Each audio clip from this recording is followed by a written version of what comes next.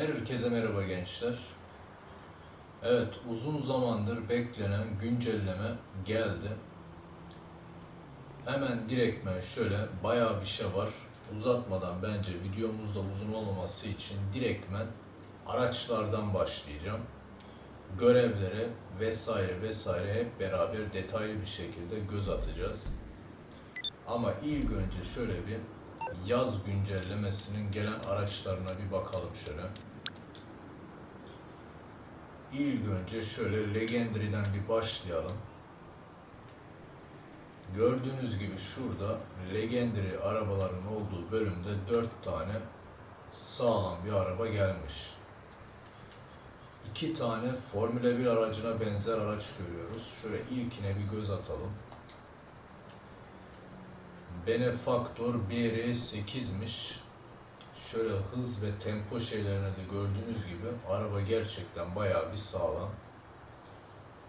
Değeri de neredeyse 3.4 yani 3.5 milyon. Hani az da değil ama bence bu araba için değer. Ondan sonra hemen yanındakine geçiyoruz. Yanındaki de gene aynı Formula 1 aracına benziyor. Daha doğrusu bu da Formula 1 aracı ama az öncekinden hani bu biraz daha kötü diyebiliriz. Ama bu da fena değil. Ondan sonra geçiyoruz. Toplumumuzda zaten katılanlar veya toplumumuzda olan kişiler bilir. Bundan aşağı yukarı bir hafta önce size bir resim attıydım. Bir sonraki gelecek olan güncellemede ki aracın fotoğrafı diye. Gördüğünüz gibi o araçta bu Tigon aracı arkadaşlar. İsmi Tigon. Değeri de neredeyse 2.5 milyon. Şöyle bu aracımız da gerçekten güzel. Tipi de güzel. Temposu veya hızı bence fena değil. Bunları ben zaten satın alayım. Sağlam bir modifiye hallerini size gene göstereceğim arkadaşlar. Evet, Legendary'de bir tane daha aracımız var. O da Invetro Cacueta D10. Bu da fena durmuyor.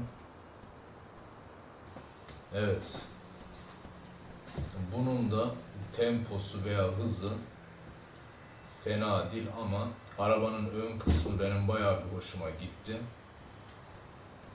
Bunların zaten ben hepsini satın alacağım. Size de tavsiye ederim. Legendary araçlardan gördüğünüz gibi bunların dörtü vardı arkadaşlar. İki Formula 1 aracı, iki tane süper spor arabası. Hemen uzatmadan geçiyoruz. Normal San Andreas'ın olduğu bölümdeki araçlara. Burada da bayağı araçlar var. Yani en az şöyle bir bakalım. Yani toplam 5 taneymiş. Süper spor arabalar kadar da olmasa bunlar da bir değişik araç artık. Şöyle ilkinden başlayalım. Bu arabada gerçek Nissan GT-R'e benzetmişler. İsmi de Maibatsu'ymuş. Şöyle bir bakalım. Fena değil ama normal süper araba için fena sayılmaz. Hemen geçelim yanındakine. Biliyorsunuz az önce de belirttiğim gibi güncellemede baya bir şeyler var. Onun için fazla uzatmadan, detayına girmeden kısa kısa size şöyle bir göstereyim diyorum. Burada da gördüğünüz gibi şöyle bir Almanya arabasına benzetmişler. VW Volkswagen aracına. Bu da fena sayılmaz. Hani hız olaraktan falan bir şey beklemeyin ama dediğim gibi değişik bir araç işte. Ondan sonra şöyle Jeep tarzı bir tane ona girip bakalım. Bu da 4x4'e benziyor diyecektim ama normal Jeep'miş. Evet, değeri de 1.2 neredeyse 3 diyebiliriz. Diğer araçlarımız da zaten aynı. Neredeyse 1.3, 1.4. Bir tane daha var. Bu da 70'lerin veya 80'ların araçlarına benzeyen bir tane old school diyelim artık eski old time'a tarihi eser aracı gündeme getirmişler.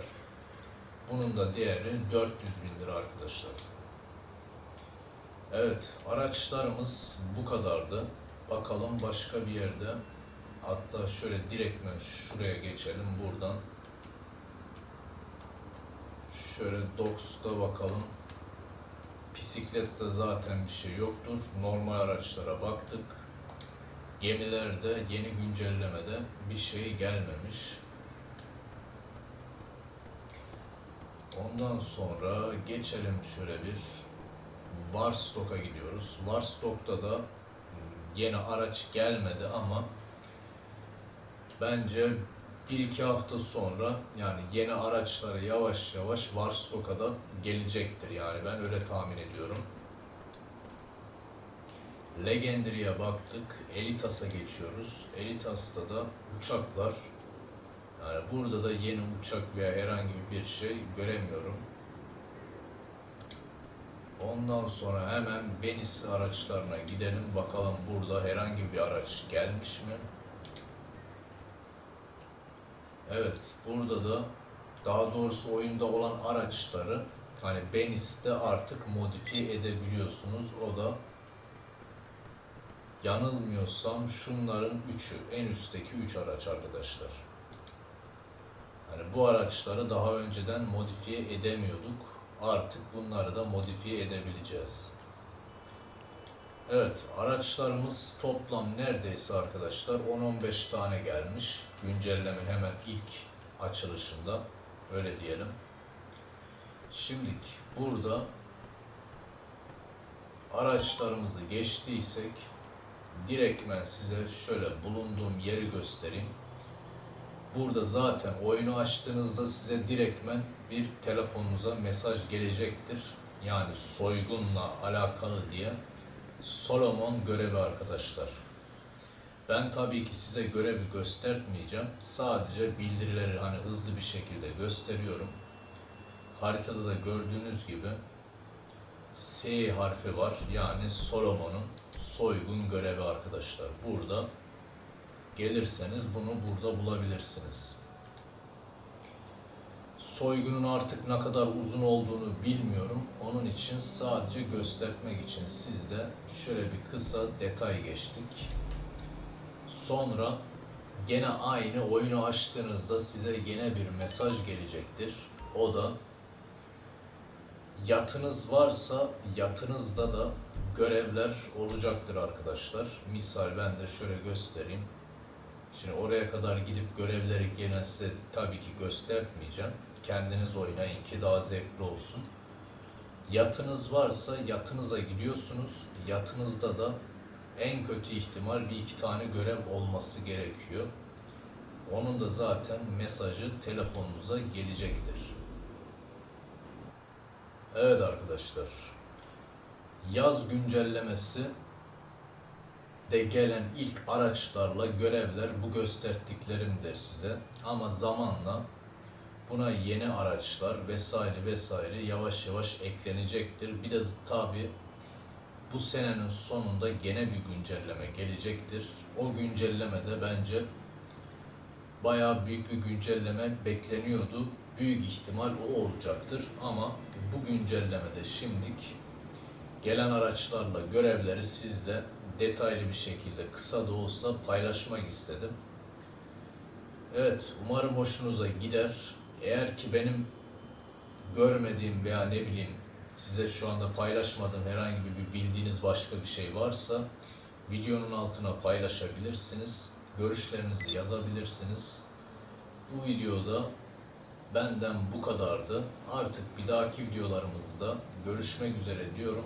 Kendinize iyi bakın. Bir dahaki videolarda görüşürüz arkadaşlar.